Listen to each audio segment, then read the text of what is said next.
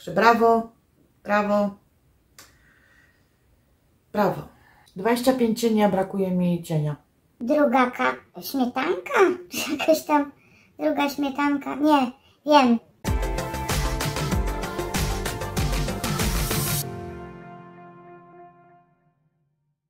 Hej, hej, witajcie. Chcę Wam dzisiaj przedstawić paletę, która jakiś czas już u mnie leży. Kupiłam ją w Contigo. Jest to paleta Harry J. Pro The Goddess. Taką ma obwolutę. Prezentuje się bardzo ładnie. Czarne. Czarny kartonik, złote takie tutaj są śliskie pod palcem wytłoczenia. Nadruki właściwie, nie wytłoczenia. W środku ma duże lustro. Cienie prezentują się tak, już o, akurat sama folia odpadła. Kolory są przepiękne. I cienie nazwane są imionami bogiń. I właśnie jak jest folia, to na folii widać nazwy poszczególnych cieni. Po zdjęciu folii niestety nie mamy już nazw. Dołączona jest taka ulotka, karteczka. Wizerunek bogini przedstawiony był dotychczas tylko w mitach, ale co, jeśli ci powiem, że bogini naprawdę istnieje? Prawdziwą boginią jesteś właśnie ty. Z tą paletą odkryjesz sekrety boskiej mocy kreacji. Satynowe wykończenia i olśniewająco mieniące się cienie pozwolą ci podkreślić oraz wydobyć twoje nieziemskie piękno. Harry J.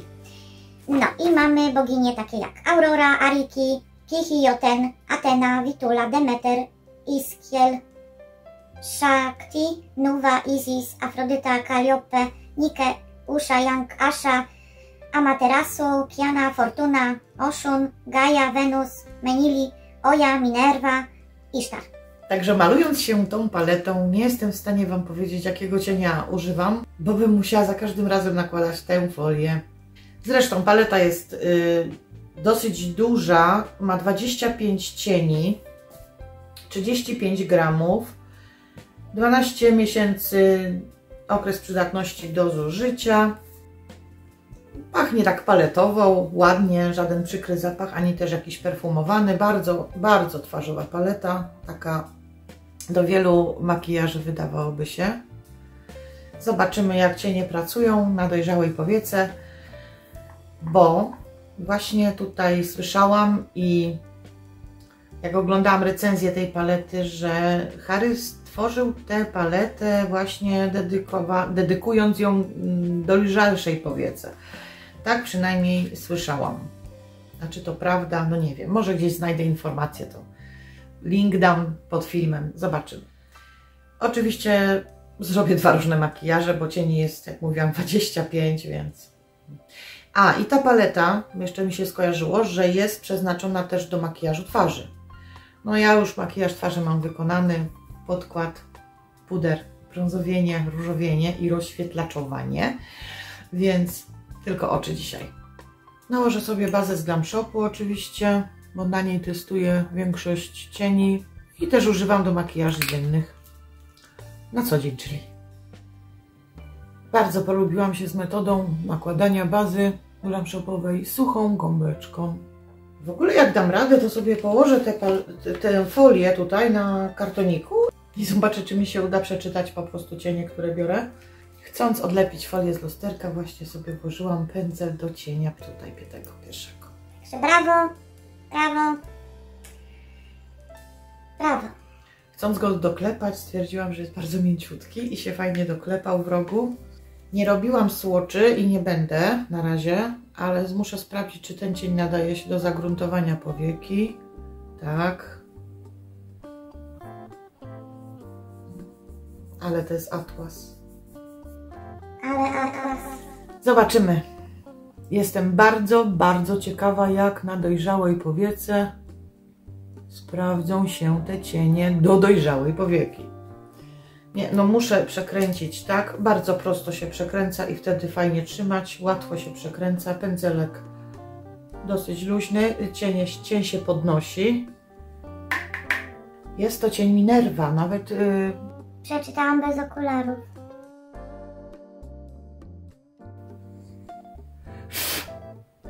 Sypie się troszkę, jeżeli nie otrzepałam pędzla. Ma w sobie lekką satynkę.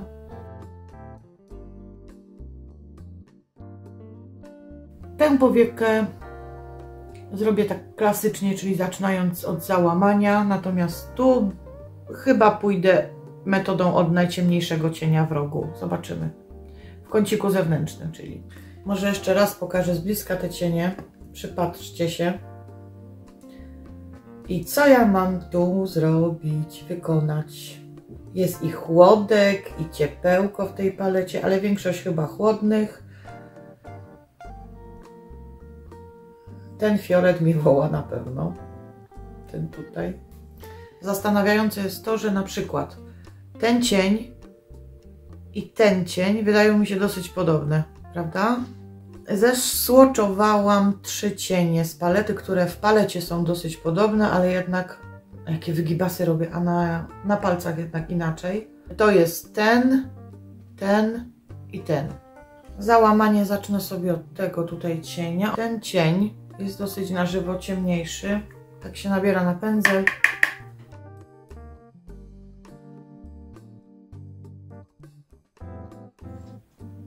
Powyżej załamania nakładam.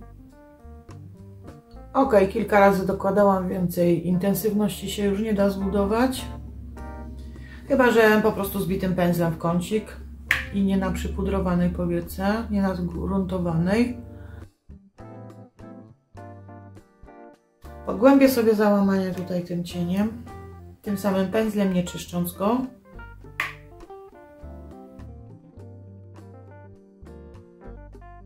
Jest to dosyć luźna miotełka z Glam Shopu, ale bardzo fajnie blenduje. Tak sobie przyciemniłam załamanie. Jest to o 118. Tych pędzli już nie ma białych, ale odpowiedniki są te różowe. Te same mają numery i te same kształty. Jak powiem numer, to na pewno znajdziecie w Glam Shopie. No dosyć się intensywność zbudowała. Wracam do tego brzoskwiniowego. No ładnie się przeszły te cienie, nie można nic powiedzieć złego póki co na razie. Bardzo ładnie wygląda, no. Hmm, tutaj sobie wezmę ten różyk, też tym pędzlem.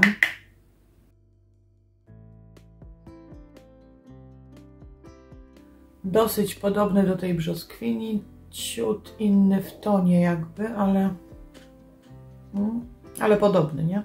No i to jest właśnie problem, bo nie słoczowałam, nie wiem, który cień tutaj by mi w kącik zewnętrzny pasował. Jest tu taki brąz ładny, wydawałoby się, pędzelkiem Maxi, dosyć ciemny i kącik. Tak, kolorystycznie ok, pasuje. I on się ładnie połączy z tym ciemniejszym, którym budowałam, wzmacniałam yy, załamanie.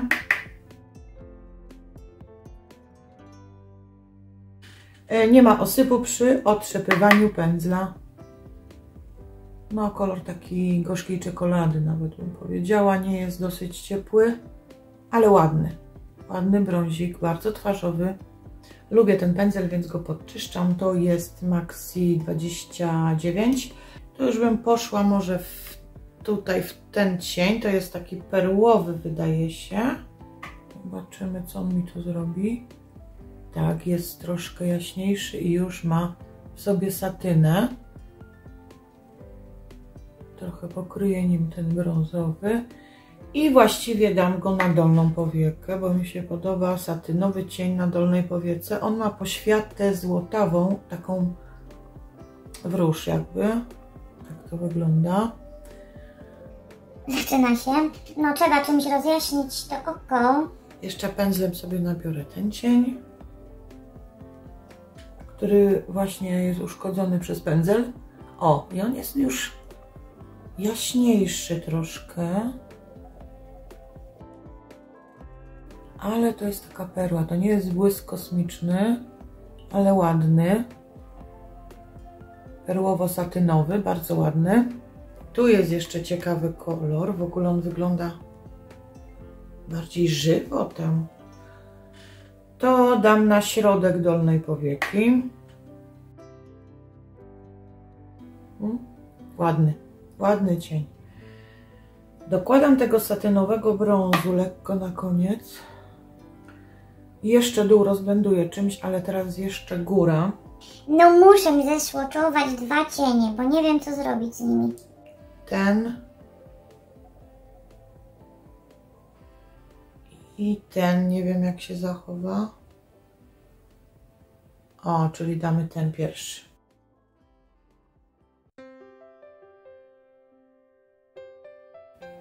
Bardzo dzienne błyski, stonowane, lekkie, ale bardzo ładne powiem Wam na powiekę. No.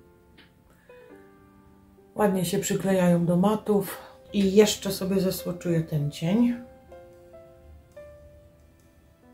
Czyli ten albo ten w kącik. No to jest to, że nie robię tych słoczy na początku. No to ten cień. Pędzelek 13 od Maxi dam tutaj. W kącik. No i piękny. Go tutaj rozprowadzę. O. No i na dół jeszcze tego troszkę dołożę tutaj mniejszy, precyzyjny, kuleczkowy pędzelek i chciałabym tu jeszcze troszkę się pobawić na łączeniu. No raczej jeszcze sięgnę po, z powrotem po ten cień. Tutaj jeszcze dopracuję. Blenduję granicę. O. I znowu ten ciemniejszy.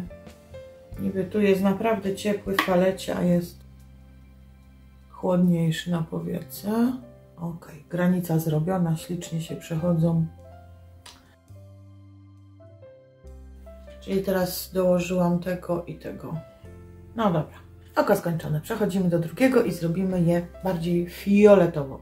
Wezmę jeszcze taki malutki pędzelek. Yy, to jest Boho Beauty 305V.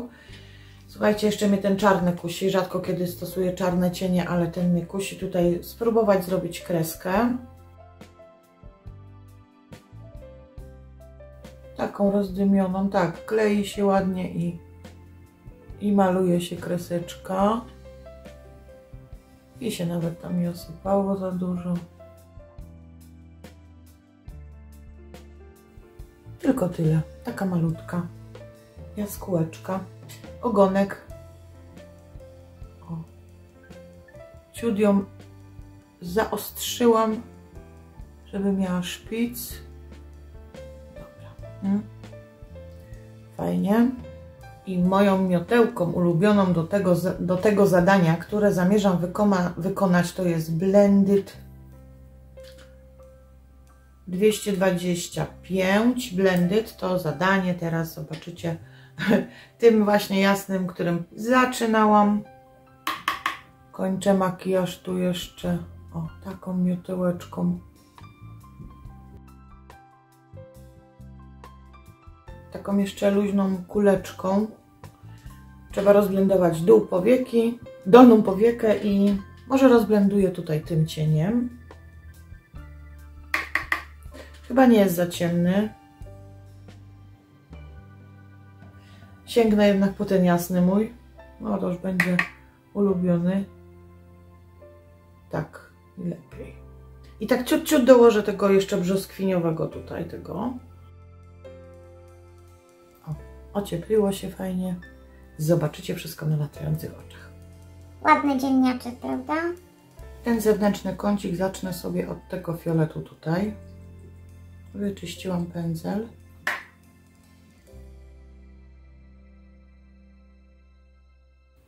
A on też jest satynowy.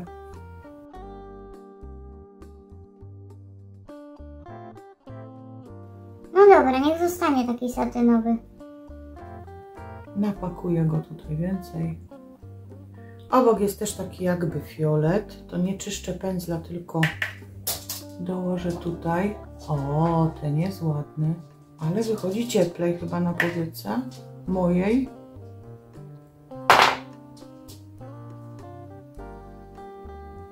O, i tu mamy satynę, tu mamy mat.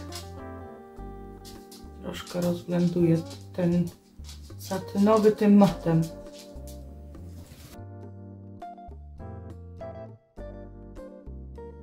No, tak sobie mi to się wydaje. Ale chmurka się bardzo ładna robi. Czyszczę pędzel i za ciosem tutaj polecę tutaj z tym cieniem na dolną powiekę. Ładny jest. Ciekawa jestem, co to za kolor jest. No, to właśnie jest bez tych słoczy to tak jest. Tu jeszcze dołożę. Ciemny bardzo jakiś. Patrzcie, no. Oj, ciemny. Ale dobra, fajnie tutaj mi się wkomponował. O, ładnie teraz. No, zdecydowanie, o jakie ciemne oko, zdecydowanie za dużo jest cieni w tej palecie. Naprawdę, za dużo. Nowy, płaski, czysty, afekt, ale pędzli ubrudzę. Afekt KM06. Dolną powiekę rozblenduję tutaj tym cieniem.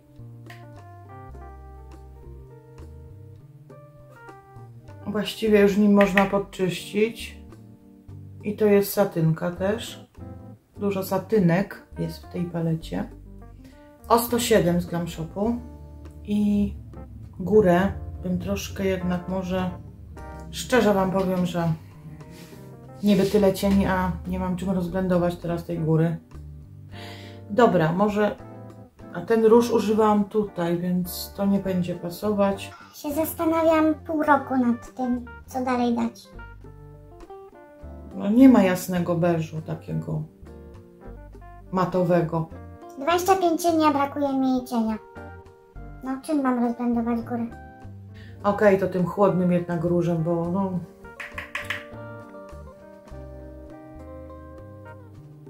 Tak troszkę chociaż. I przejdę do tego jasnego. I dalej polecimy wyżej. O. Mm, co wyszło? Jeszcze wracam do różu. I wracam do tego tutaj jeszcze fioletu. I pędzelkiem po różu jeszcze. Wjeżdżam troszkę na tą satynkę, to zrobi się taki już zupełnie bledziusieńki różyk. O, okej, okay. no teraz nawet mi się podoba. Mhm. Chciałabym czymś przywalić, jakimś błyskiem. No dobra, no to teraz ten. Na środek powieki.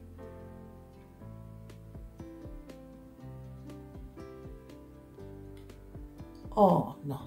To mnie w końcu ucieszyło. Pędzelek od zmalu. Jeszcze ten cień spróbuję tutaj dopracować. O. I się udało.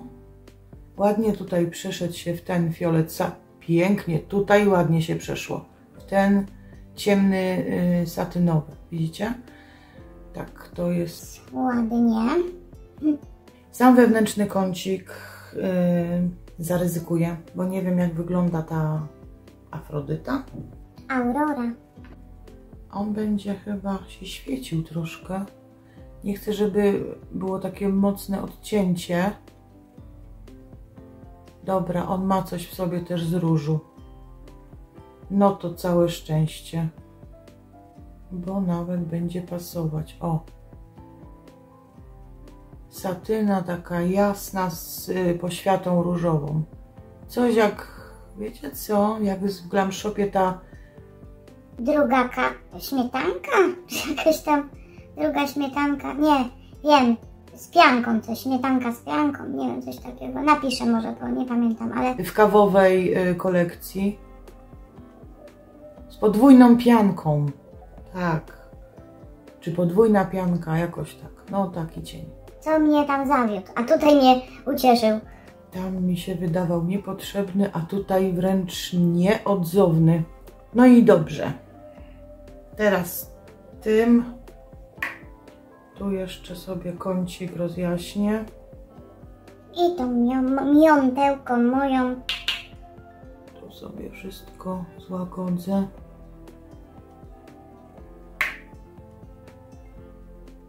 A wiecie co? Jeszcze spróbuję tego, bo nie używałam. dołożyć tu, Za mało rąk. dołożyć tutaj. Nie, on już będzie chłodniejszy. No ale dobra. I on ma niebieskie drobinki. Tak. No ja lubię takie cienie. Ten cień tutaj z roku wezmę na dolną powiekę od kącika. Oj, może tu, bo on jest bardzo ładny. Ale już troszeczkę cieplejszy, ciut, ciut. Ale dobra, zgra się ładnie. I co, które oko?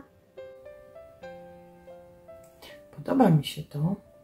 Może na przejście jeszcze dam tutaj tego cienia. Przejście tutaj. O. No i dla równowagi też y, czarnym cieniem zrobię jakąś taką tutaj jaskółeczkę. Tu muszę wzmocnić tę jaskółkę. Przodem do przodu. No, chyba jest ok. Nie mogę się doczekać słoczy. A tymczasem wykończę oczy i wrócę. Makijaż skończyłam. Rzęsy tymi produktami. Varieté baza, ta precyzyjna maskara, dolne rzęsy, Eveline, te dwie rzeczy. A tutaj Eye Extreme Essence. Usta moim combo ulubionym. 18 Light Plum Eveline i Koi Maybelline kolor o numerze 20. I teraz podsumuję paletę i pracę z nią. Mm, Paleta jest bardzo ładna. Jakby to Wam dobrze powiedzieć. Napaliłam się na tę paletę. Widziałam ją i u Maxi, i moja Gosia kupiła, i jeszcze na jakimś kanale. I naprawdę, naprawdę spodziewałam się, wie czego. byłam tak napalona. Nie mówię, że mi się nie podoba, jest piękna. Do wykonania makijażu twarzy bym jej raczej nie używała, bo są malutkie wypraski. No, typowe, kwadratowe, to jest wielkość, tak jak w Hean, w Hean paletach. Taka wielkość i nawet taki kształt, tylko no jak tu pędzlem trafić? Także no to odpuszczam. Makijaż twarzy odpuszczam tą paletą. Mm, Pigment zresztą byłby pewnie duży, mocny na twarzy. Dobra, jak się pracowało z cieniami? Bardzo dobrze. Rewelacyjnie się łączą, blendują, chmurkują i nie robią dziur. Te ciemne cienie, fioletowe, to jest bardzo ważne, brązowe tak samo.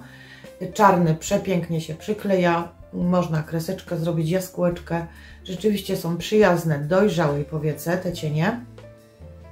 Błyski też, jak widzicie, żaden kosmos oczo, wiecie, ale są bardzo ładne. Natomiast zaraz będziemy swatchować i przekonamy się, czy każdy błysk jest taki tak naprawdę, no nie wiem jak ten, no ale po co ja teraz to robię? Ja już go chyba próbowałam, dobra. Nie, nie, nie, nie, nie. Ju, już się zapędzam, zapędzam się do przedziału. Zaraz będą słocze. Ym, tylko tak, miałam problem z rozblendowaniem tutaj, w sensie nie technicznym, tylko kolorystycznym. Nie miałam za bardzo czym. Ym, Ja myślałam po prostu tak, że ta paleta będzie bardzo, bardzo intuicyjna. Tak jak, wiecie, no, oglądacie moje filmy, to wiecie, no po prostu spojrzę, wiem jaki cień wziąć i, i, i, i używać. Natomiast tutaj miałam tyle zastanowień, że trochę mnie to zdziwiło. Na 25 cieni ja się zastanawiałam, jaki cień wziąć, żeby dobrze zrobić rozblendowanie, chmurkowanie i tak dalej. I przechodzenie się w siebie. I do kącika wewnętrznego, który cień. Także no, ja jestem zadowolona z palety. Ja ją jeszcze będę używać przez najbliższe parę dni. E, Dzisiaj jest niedziela, postanowiłam właśnie zrobić test tej palety. E, Zmontuję film, będzie we wtorek. I oglądacie właśnie we wtorek. E, Natomiast mm, poniedziałek jeszcze wykonam jakiś makijaż i może wstawię zdjęcie. Jak będzie to teraz.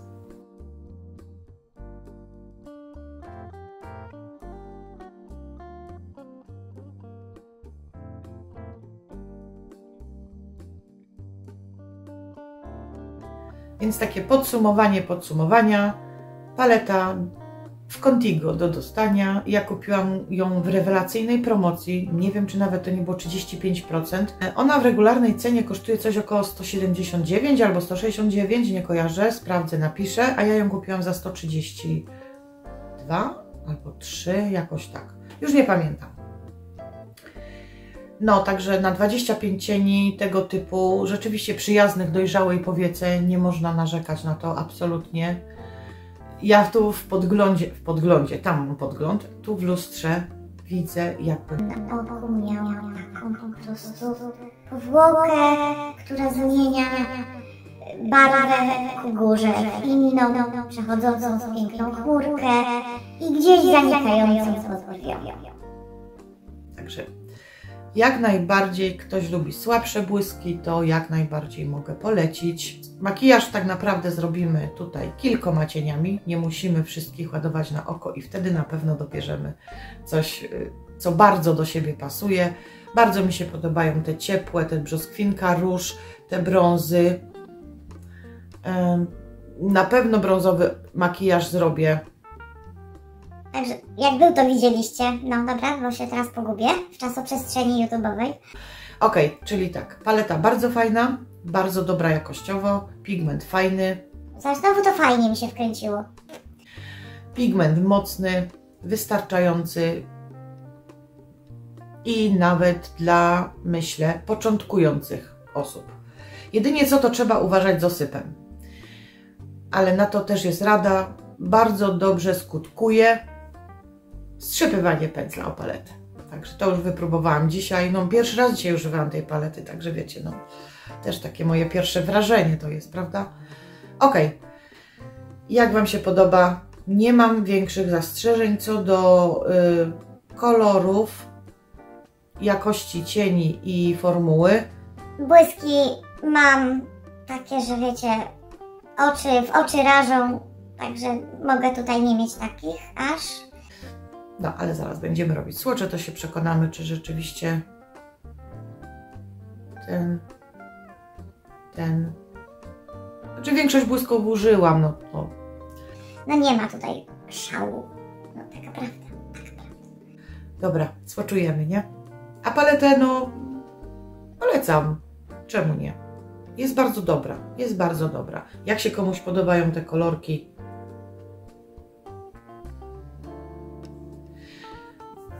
to jasne, że tak.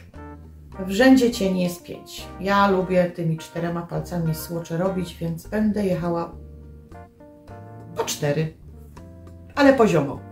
Pierwsze cztery, Aurora, Ariki, Kichioten, Atena. Czyli to jest Atena.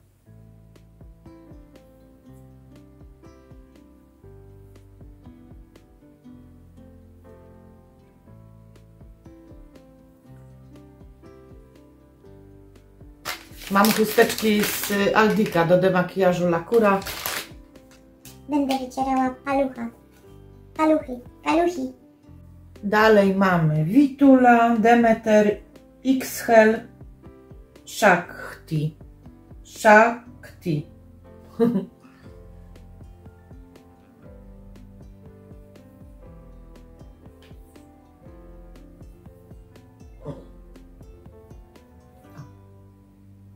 No, ma oko tak nie wygląda na pewno. A zobaczycie latające oczy. Zaraz wstawię. Nuwa, Isis, Afrodyta, Calliope.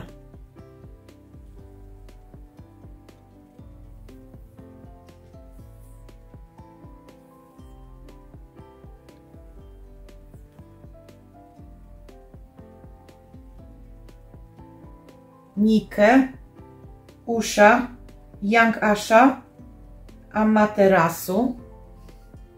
Jakie nazwy. Ten jest ładny. Tego nie, chyba nie używałam. Dobra, o tak. Teraz przejdę na drugą rękę chyba. O, ten ładny. Dobra, już wiem. Po prostu teraz już wiem, jakich cieni jutro użyję. Które już widzieliście. Teraz mamy Kiana, Fortuna, Oshun, Gaia.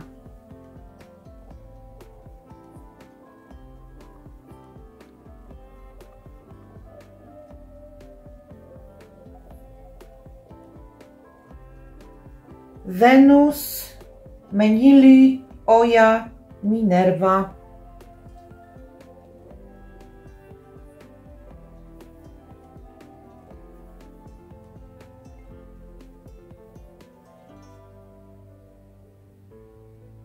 No i został ten Isztar czarny, który jest naprawdę bardzo czarny, bardzo czarny.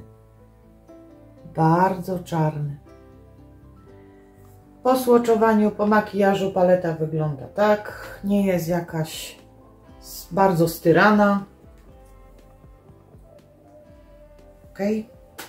Pokażę Wam dwie ręce razem. Tak, Teraz się zmieściły. Napiszcie, czy Wam się podoba, czy nie. Tu są takie cienie mocne. Taniec rąk zrobimy? No, no widzicie, no najbardziej mi się ten podoba, ten, a na oku tak nie wyszło. Ale jeszcze będę próbować. Ten jest ładny, nie? Piękny. Ten. No i tego typu cienie bardzo mi się podobają. Baza taka brązowa, a perełeczka, iskiereczki, niebiesko-zielone, coś takiego. Ładny. Teraz mi jeszcze przyszło do głowy to, że bardziej ta paleta podoba mi się na słoczach niż po wykonaniu makijażu na oczach. I jako, że jest niedziela, postanowiłam Wam y, dać informację co do rozdania. Y, więc tak, za tydzień w niedzielę, czyli jak oglądacie we wtorek, no to za parę dni, w niedzielę y, zrobię live'a z rozdaniem. Myślę, że już się to ustabilizowało, ten tysiączek, że już nie spadnie poniżej. Więc y, zasady rozdania jeszcze wypiszę w opisie, ale najważniejsze dla mnie to jest oczywiście być subskrybentem mojego kanału i być aktywnym pod filmami. Także wiecie, co się z tym wiąże. Mm, Przelecę może z 20 ostatnich filmów i zrobię losy z osób, które po prostu komentują moje filmy. Wiecie o co chodzi, no być subskrybentem to nie wszystko. Ktoś kiedyś zasubskrybował kanał, w ogóle nie wchodzi na moje filmy, nie ogląda już i nie komentuje, więc no nie uważam, żeby żeby akurat los szczęścia się miał do niego uśmiechnąć co do mojego losowania tej paki kosmetyków. Nie wiem, może się, może źle mówię, nie wiem, no ale słuchajcie, no oglądacie, komentujecie, dajecie lajki, no to wy powinniście dostać kosmetyki, prawda? No, chyba, dobrze, chyba się rozumiemy. I dla jednej osoby będzie wysłana paczka z produktami nowymi do makijażu, do pielęgnacji. Subskrybujcie kanał, oglądajcie filmy, komentujcie. Dziękuję za łapki, dajcie łapki do góry, komentarz, oczywiście dzwoneczek, żeby być powiadamianym o nowych filmach wrzucanych przeze mnie na kanał. A ja Wam dzisiaj bardzo serdecznie dziękuję za oglądanie. Aha, latające oczy. No, chyba były, nie? Były albo jeszcze latają. Bardzo serdecznie dziękuję za oglądanie. Życzę Wam wszystkiego dobrego, co Was spotka. I do następnego. Hej, papa.